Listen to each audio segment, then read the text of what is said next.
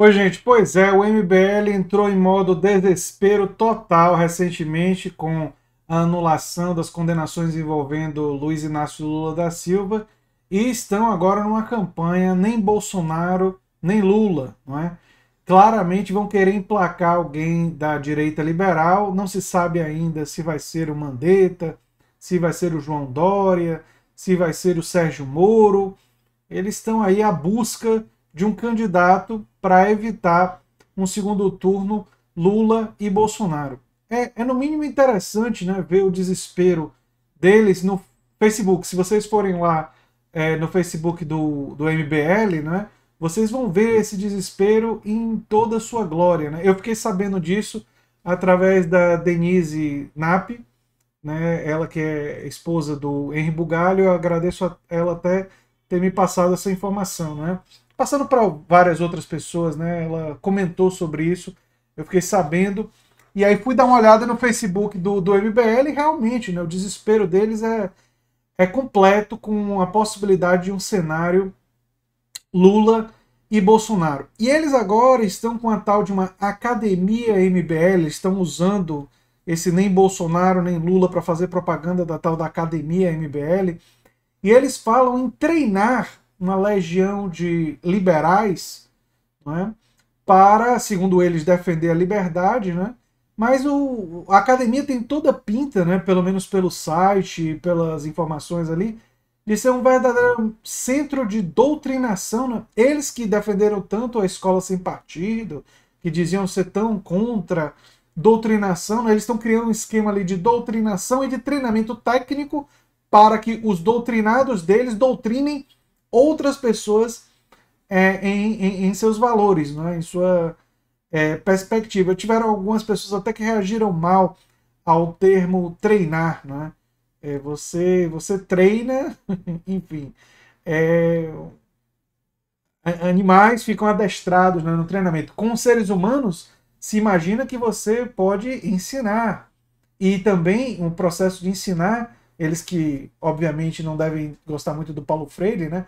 mas ah, os teóricos em pedagogia trabalham com a ideia de que ensinar é um processo construtivo, que você ensina, mas também aprende, que você, dentro do processo de ensino, você emancipa a pessoa a pensar pela própria cabeça. Isso meio que não apareceu é, na, na, na propaganda ali deles em relação à academia MBL. Né? Apareceram mais coisas do tipo dos professores que vão ensinar como é que eles vão fazer memes, né, e como é que eles vão é, captar outras pessoas para a sua ideologia, né, estratégias ali de captação de seres humanos, né, para se tornarem veículos da sua ideologia. O que, aliás, é uma disputa que, de formas diferentes, to, toda, todo tipo de ideologia trava.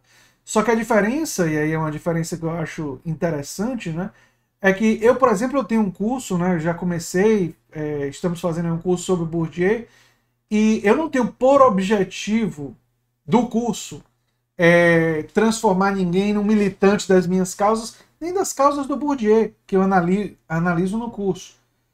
Meu objetivo é que as pessoas compreendam o autor, é, compreendam seus conceitos e aí decidam elas próprias o que, é que elas vão fazer com isso? Elas vão utilizar isso para pesquisa, para militância delas, para os outros espaços, né?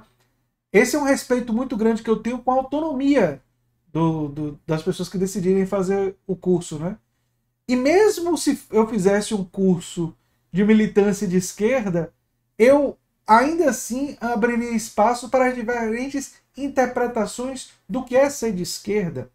Porque existe uma esquerda social-democrata, mas existe uma esquerda anarquista, existem diferentes versões de uma esquerda nacional desenvolvimentista, existem diferentes prioridades. Né? Eu, por exemplo, sou uma pessoa que defendo a expansão da democracia nos espaços de trabalho, o cooperativismo como um caminho para fortalecer a classe trabalhadora. Isso é um aspecto importante da minha perspectiva econômica. Nem todo mundo de esquerda tem, defende essas ideias. Não é? é eu defendo, é, por exemplo, é, renda universal de cidadania, né? a, a, ideia de que todos devem ter uma renda universal garantida é, pelo Estado, E essa, essa garantia de uma renda universal deve ser um direito social a mais, sem infringir em direitos sociais, como o direito acesso a serviços de saúde, educação. Nem todo mundo da esquerda concorda comigo. E é normal que não concordem.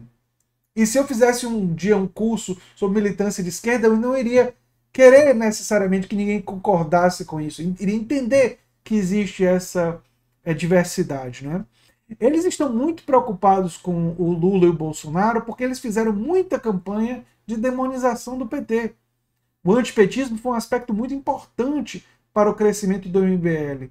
E, mais recentemente, eles é, fizeram críticas pela direita liberal ao Bolsonaro, críticas duras, críticas firmes.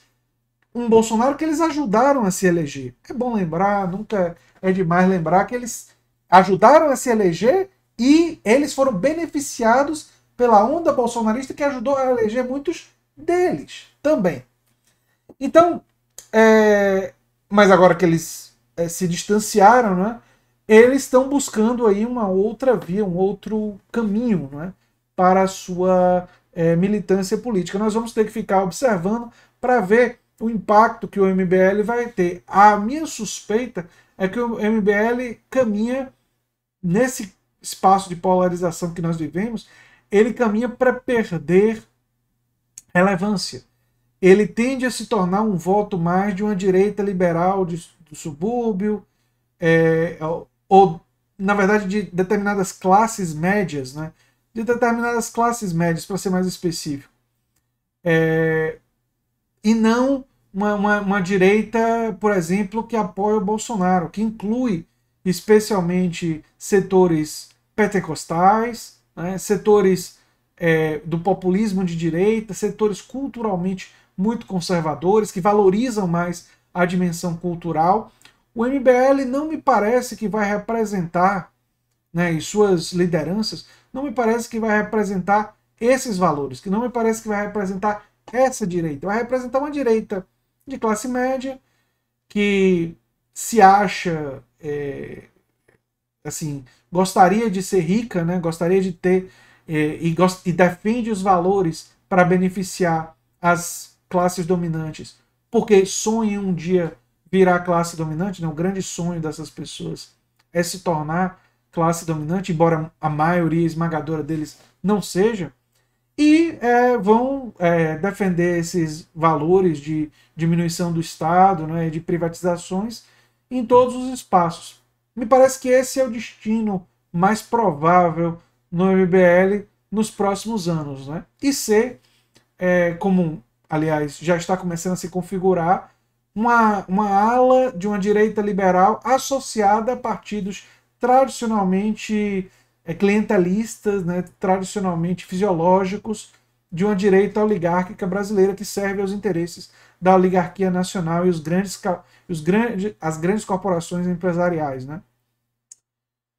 Pode ser que a gente se surpreenda, mas esse parece ser o destino provável do MBL. Vamos ter que aguardar nos próximos meses. É, eu fico muito curioso para ver, porque o caso do Lula é um caso que ainda não está resolvido. Foi lá para Distrito Federal, pode é, ser revalidado. É uma coisa que não não não está totalmente decidida ainda, né? É, e o cenário em relação a 2022 também não está decidido. É curioso que eles estão muito preocupados com 2022 e deveriam, na verdade, estar preocupados, especialmente porque alguns do MBL são representantes, com 2021. Porque nós estamos no meio de uma pandemia, Muita gente continua desrespeitando o distanciamento social. Nós estamos tendo números assustadores de mortes e nós ainda não temos uma política de compra da vacina eficaz.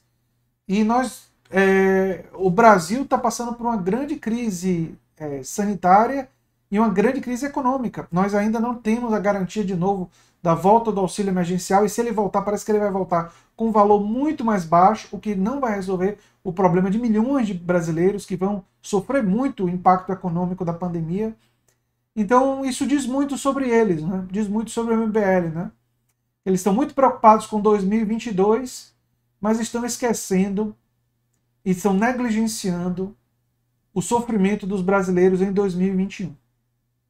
Eu aqui no canal criei o abaixo assinado Renda Solidária Já. Já, para 2021. Entendo que nós não podemos esperar. Não podemos esperar a eleição no ano que vem. E espero contar com vocês com a assinatura e com a divulgação desse abaixo assinado. Que é, está inclusive no comentário fixado. E é isso que eu tinha para dizer nesse vídeo. Eu sou André Teixeira Jacobina, você está na nova máquina do tempo e a gente se vê em breve. Tchau, tchau, gente.